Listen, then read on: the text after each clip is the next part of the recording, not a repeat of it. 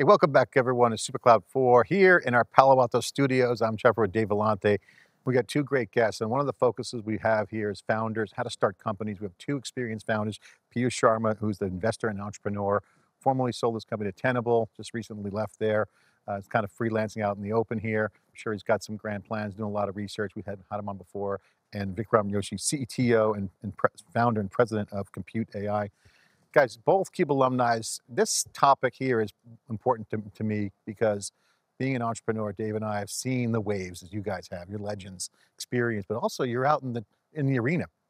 And you know, the cloud was great. You put your credit card down, you can start a company. The SaaS revolution was born. AI is different. We're seeing stories of give me two engineers and a product person and one go to market, the rest is faster. Is it faster? What do I use? How do I build the tech? What's available? Let's demystify this. As founders, welcome to this panel. Piyush, we'll start with you. As you look at the opportunities, clearly, like the web, every vertical is open for business. Right. What's your perspective? Uh, thank you for having me here, John, first. Thank you, Dave. Um, I think this is one of the most revolutionary times we have seen in, at least in my lifetime. After internet revolution, we are seeing a significant significant changes happening on how the cloud have been used, um, especially now the AI, LLM, it's a buzzword today. It's, it's become super easy to build a company. And uh, as long as you understand what the problem you're solving, there are sufficient amount of technology that is available. And then you can use now technology to build more technology. Like the AI LLM today is run from cloud, for cloud, essentially changing the game of the game of the startups. And you've been an investor, so you you know you know the playbook. You put some seed capital in, you get right. some VC. Dynamics are changing big time. What's your perspective on the funding? How do you get funding? I think the market needs have significantly changed in the last few months and years. Um, the, the, investors always looks at the white spaces, the bigger spaces like AI or LLM or similar to that. Uh, the usage of the whole uh, AI ecosystem is going to be very significant. So the money wise, I, I personally feel there's a plenty of money available. You just need to have a problem that is important and urgent, and that's about it. That's the key. You, you still have to solve problems, right? And right. so you're in the world today. So what's the process that you use as a founder to go about trying to understand the problem? I mean, a lot of times we just fall back on what we know, but then you have to step back. I mean, you're in the world of data. How do you go about figuring out what problem to solve next? That's a great question, Dave. Um, I think we are playing, much like what uh, said, at a very important time in, in the evolution of data processing, computing, AI, ML. And we are at, at playing at a very important juncture here at a confluence of two kinds of forces that are at work. So just want to set the tone for a little bit of the background, and then we can discuss the opportunity and what it takes to be an entrepreneur and raise capital in this uh, yes, seemingly tough market. Uh, so it's the confluence of two major things happening here. One is you have massive amounts of data processing going on, and then there is the AI/ML forces, whether it's Gen AI, LLMs, or other kinds of uh, AI/ML. And there are many opportunities here, and I know the market has been saturated with conversations on Gen AI and LLMs, but there's a much larger, there's a vast amount of opportunity in the AI/ML space outside of that too from an entrepreneurial perspective, uh, understanding what the problem space is, understanding real pain points, how do you identify those? The architectural tenets of entrepreneurship haven't changed. It comes down to team. We've talked about that. Uh, people have talked about that. There's ample information. As an entrepreneur, you think you focus on the team. Great team, teams build great products. And of course, you must have a market. And it's not very easy to see the path in terms of how big is the market? Can I tap into it? Is it green fields? Is it brown fields? What the opportunity is? And that's where did, they cannot have did you, comes in. Did you raise money for your startup or did you fund it with your own cash initially? Did you raise some and how did you capitalize that startup? So the what urgency that I felt, I did, I did. The first thing I did put your own money in. I put my own money in. Yeah. So I put my own cash in. I went ahead and got a million dollar line of credit on top of it to make sure that uh, whatever the market conditions, uh, we have the ability to continue to focus on the idea and just go after it with gusto. Uh, because once you believe, once you commit, you do not hesitate. And I think that's one of the first uh, principles of entrepreneurship, right? You have to have skin in the game. Uh, it's just between you and it's me and me, right? it's not even how investors look at you. And then um, the next thing was um, there were other in- investors who were interested, yeah. including people who invested in me before. So that's how. Piyush, we talked about this. We had coffee uh, prior to coming on the program before um, with some of our friends, and we talked about opportunity recognition and that you don't really need a lot of capital to go get going. That's right. Even the seed game has changed. You can either fund it yourself because it's like the cloud days. You put your credit card down right. and you put it in the cloud. A little bit higher scale with AI, higher velocity. What's the power dynamic on the funding piece um, these days? And I know you do a lot of mentoring of other entrepreneurs as well. What's the current state of the art mindset and execution playbook for, you know, three feet in a cloud of dust, get some momentum? How do I get that next check? Yeah, and, and I think John, you made a very good point that um, it's it's sometimes uh, it's all about driving a value and innovation. I think when you deal with the new technology or the new uh, hype cycle of a brand new technology like AI, LLM, there are there are investors, there are sufficient number of challenges that they are up there for, to be solved by somebody by you or somebody else, right? I think the the funding is a secondary aspect of a problem that you're trying to solve. So if you really start with the right problem, most fundamental, I keep on saying that is the problem important and also urgent is where you actually start. As an entrepreneur, when I look at anything to invest, if I'm angel investing in a startup, I always look at that the problem, that how important it is. Is this going to be for 10 customers facing the same problem every day, or is it going to be a thousand customers solve they seize this problem once in a month. And the urgency. Yeah. The urgency. Sorry to interrupt, so the, but no, I would underscore that. important and urgent yeah. is where you need to start. From the investment standpoint, you uh, just to uh, wrap, uh, wrap it up on the investment part, the investment, whether you bring it your own money, whether you bring it investors' money, you always consider it's your own money because that's the conviction that the founder yeah. needs to bring in.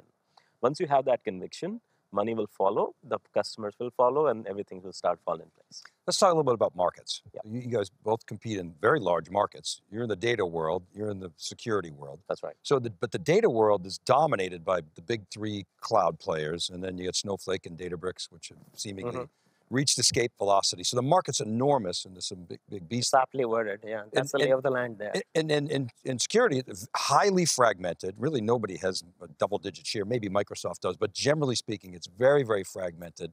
So completely different, right. you know, but but both huge. Mm-hmm. So how did you go about thinking about the problem that you wanted to solve? You you're not you burn the boats. You're not afraid of the big guys. Was it because AI was a potential disruptor, or you saw that the existing guard was not capable of doing mm-hmm. what your vision sort of led you to? Yeah, I think just the framing of the question itself uh, is, is very powerful, and understanding who the big players are. They are the cloud players, they are the big behemoths, there's Snowflake, and there's Databricks. As an entrepreneur, I'm always looking to create value. And um, I don't view uh, disruption in you know in technology as being something that you decide upon. If something is going to change the game, let the customers vote on it. So how did I make the decision out there? You're playing in a very rich data landscape where um, it's a trillion dollar market or whatever the numbers are. It's a massive, massive uh, market, and no one denies the fact that there is plenty of opportunity. How do you go and insert yourself as a fledgling founder with a tiny little team, with tiny resources, and create value? And in my case, I was thinking in terms of incremental but significant value where you leverage the great work done by the snowflakes of the world, by the data Databricks of the world, as, and you're standing upon the shoulders of giants and creating value, which really means finding those pain points, uh, real pain points, like Piyush said, that are urgent and you want to be able to solve them. And what we heard through all the conversations, and having been in the data space um, and knowing that I'm not going to come in here and build, you know, that you know another uh, compute engine. You don't want to be the tenth search engine and not do something like Google. So at the back of your mind, you know that if the problem is large enough, personally, it's not exciting to me Mm. as an entrepreneur. So you always have that push and pull out there. Is this large enough? And how am I going to insert myself? And is there going to be credibility? You come out there from the left field and you say, okay, here's a data Databricks, here's a Snowflake, data management is done. You know, Yeah. what's the next thing? What's the pain? And how do you go out and create value where um, anyone who buys your product probably already has one or both of these solutions. Yeah. And you still want to out, go out there and make it. That's clearly the case in your world. security. Yeah. yeah, security is exactly like that. And honestly, on the security side, right now there's so much so much noise around certain things because everybody wants to do everything, Mhm. but but nobody focuses on the main thing, which is the prevention against the breaches. And uh, every new technology brings an opportunity in the cybersecurity, Mhm. right? AI came in, LLM. I mean, AI ML, ML has been there for a long time. Yeah. The large language model, the performance and the efficacy improves in the last few months, like when the transform architecture came in. So want- I want to ask you on that. One of the things Dave and I were just talking about before you guys came on was that the CrowdStrike event, Right. and all these events we go to, the Cube, everyone has the same line. I want to get your reaction to it. We've been doing AI for years. exactly. okay, so okay, they, they have. I have a story there okay, too. all right, right. Yeah, you said the tenth. We search just bought a engine- company that's doing it. Uh, and your point about the 10th search engines, Google was a nuanced point, but Yeah, that's like they right. came in late the game and became dominant. They had a different approach. What is the disruption vector that startups can take?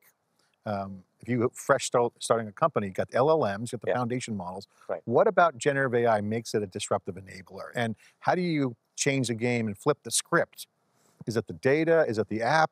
Is it an AI wrapper? What does AI native mean? Because I look at all the old guard stuff and say, okay, CrowdStrike might have been there, done that, they're doing it. Right. Some say they're the best at it, but is it really going to be the next wave? What's your guys' perspective of this disruptive opportunity for the startups to great flip the script? Yeah, great question, John. Actually, you put it very well.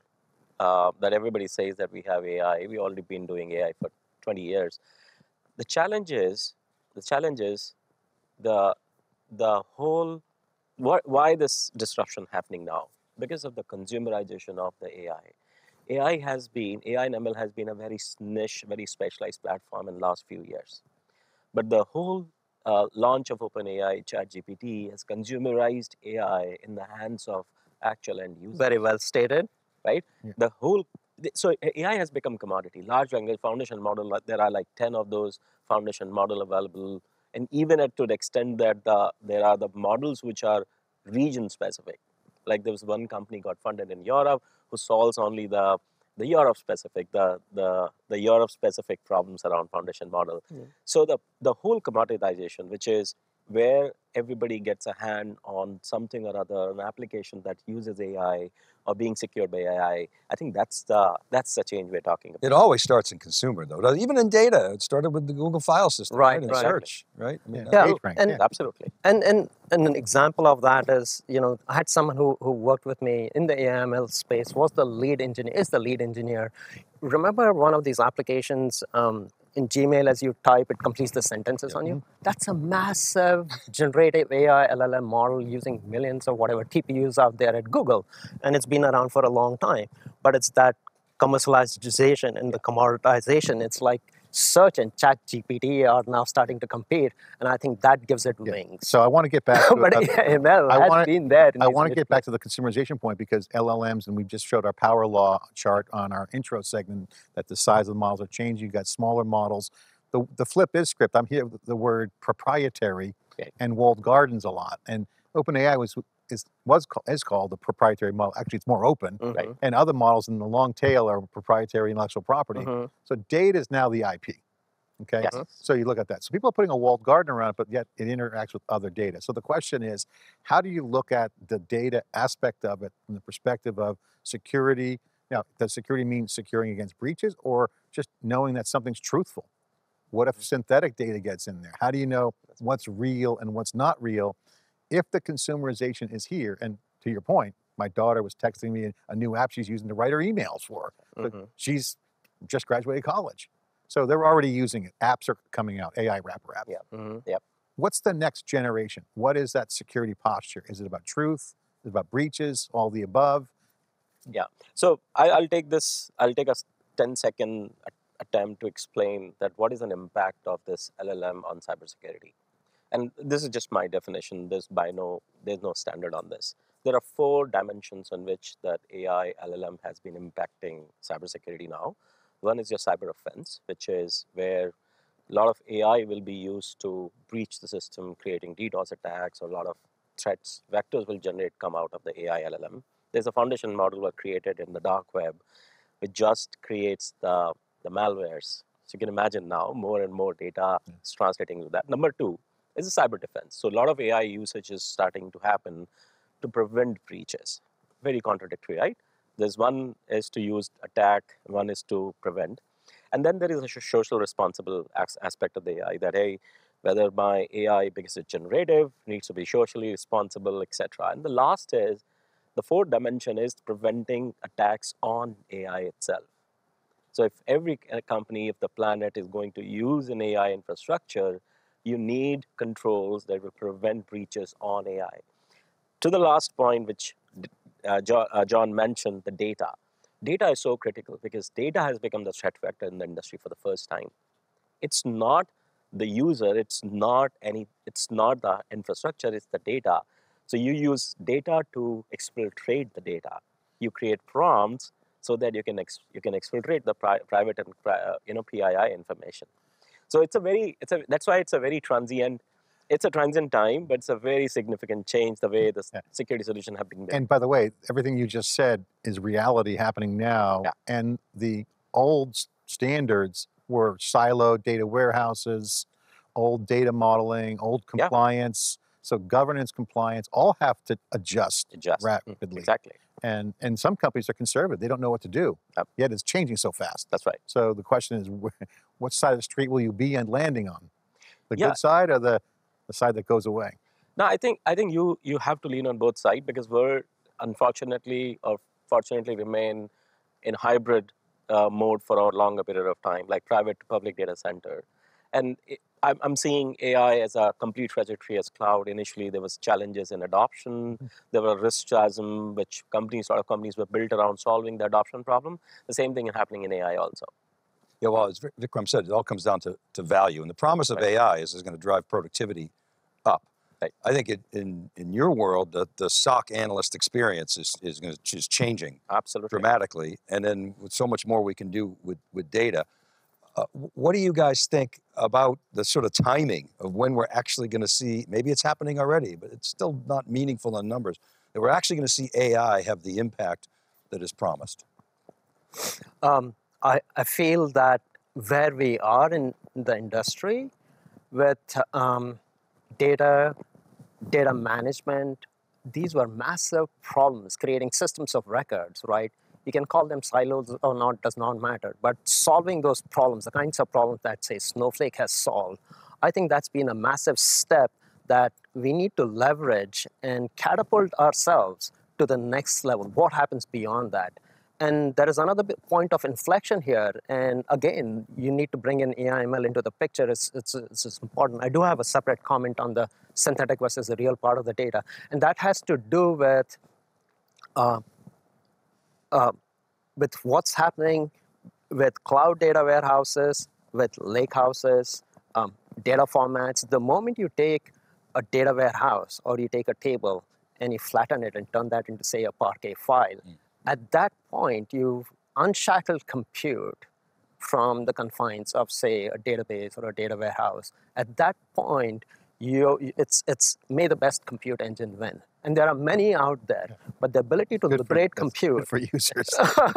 well, yeah. Democratization. You're right. You don't have to use the cloud vendors' compute necessarily. I mean, right? That's that's locked. And- in. and I even think- though they're separate, we've talked about. and compute for all right compute is the oxygen for data for data processing right i mean we, we don't pay pay for the air we breathe and we're being productive we're being entrepreneurs we're creating uh, incredible value and hoping to change the world so to have to pay for oxygen i don't think I, I, you want to make compute abundant and we now have arrived upon the opportunity here um, where between Parquet and formats such as Iceberg or Delta or Hudi doesn't matter. It's data and metadata.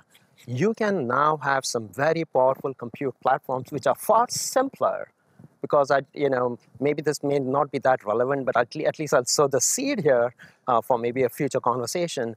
What's important here is, and especially coming here with my roots in databases, having had something to do with Exadata, uh, when I look at a database, you look at databases as having to do ETL is done, then you take the data and you push that into rows, columns, tuples, whatever, into tables, right? Things with schemas. There's DDL and DML, there's transactions, and then you have DQL, which is your query.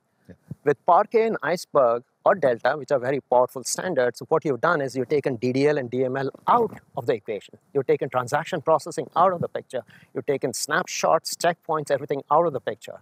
And now you're left with a pure read-only compute engine with the power of being able to do transaction processing. We are able to do point-in-time rollbacks, you know, all of those features of databases. So I think we have arrived upon Yeah.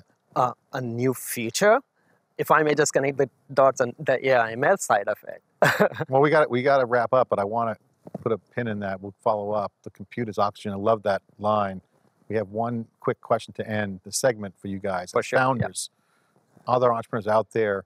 We are in historic time. It feels like the web. Right. It's going to grow. Without what opportunity recognition techniques should the younger generation watching this or anyone in enterprise trying to figure out how to be less conservative, more aggressive without failing or getting over their skis, as they say?